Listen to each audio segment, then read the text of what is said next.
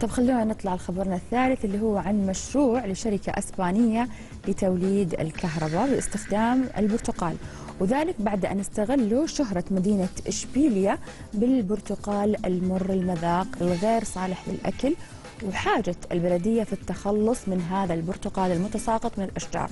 وهنا جت فكرة الشركة بإطلاق مشروع غير مسبوق في البلاد لتوليد الطاقة واللي يتساءلون شلون يولدون طاقة كهرباء من البرتقال فالمتحدث باسم الشركة شرح الموضوع بالتفصيل وصرح بأنه يتم عصر البرتقال لينتج عنه عصير 50% و50% مخلفات اللي هي القشر واللب.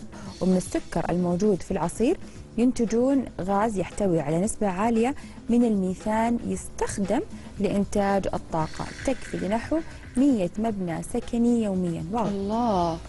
إحنا كانه بس بن بن لسه بنقول لازم نبدأ نحافظ لازم نستغل, نستغل الموارد ونستهلكها صح. بشكل مفيد يعني بصراحة هذا يعني مبادرة عظيمة وفكرة مرة رائعة للأمانة تذكرنا ذكرني بفيلم Back to the Future برضه كان فيلم في الثمانينات فهو المخترع سوى اختراع إنه ممكن ال- السيارة تمشي عن طريق طير. المخلفات تختلف. من صحيح. الفواكه والخضار والأكل وغيره فبالفعل إحنا عندنا ويست مرة كثير عندنا مخلفات كثيرة من الأكل فممكن إننا نستخدمها بهذا الشكل صح. يعني ليش لا ليش ما نفكر ونبتكر